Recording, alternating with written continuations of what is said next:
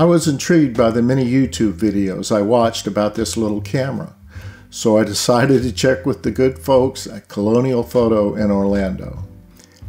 As if by fate, they had a single new one in the box, along with a used XF 23mm f2 that was in great shape.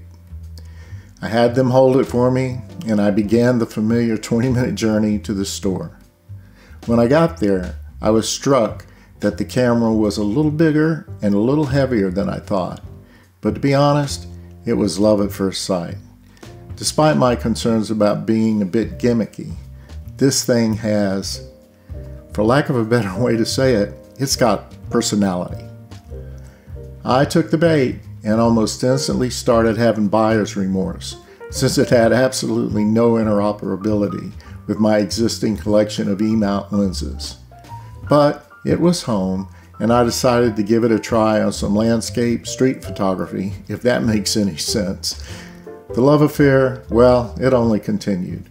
The 35mm equivalent prime, the hybrid viewfinder, and the small LCD on the back were a bit over the top, but once I discovered how to make that back display some usable information, I was all in. The buyer's remorse further faded once I discovered the Fujifilm profiles could be applied to raw images in post. This is not a technical review, there's lots of those out there. It's just a collection of impromptu shots collected in the few months I've owned this little gem.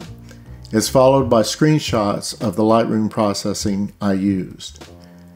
I hope you find this video enjoyable and perhaps even useful. Thanks.